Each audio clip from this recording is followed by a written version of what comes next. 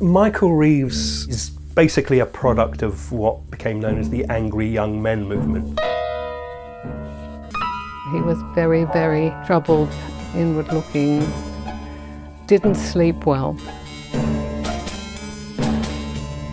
The point is, I'm bored. Blue, black, and bloody indigo. He was someone who was so immersed in films that he understood, I think instinctively, how to communicate with images. Witchfinder General was a scandal, and it was even mentioned in Parliament. British film needed somebody like Michael Reeves. He was a public schoolboy who wanted to make Hollywood movies. I remember he told me he'd decided to be a film director at the age of eight, and that was his central core of his life.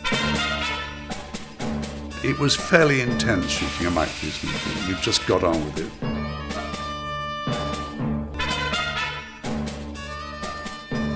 All of Michael's career was what, 10 years maximum?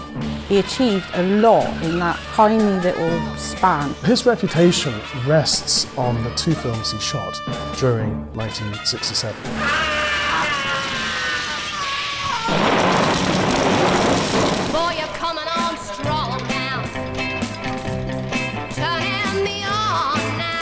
He was exciting and innovative and looking at cinema in a completely different way to a lot of the British filmmakers of the period. He was an obsessive watcher of films. He really was very, very good at what he did. He wanted to prove himself. All that mattered was film.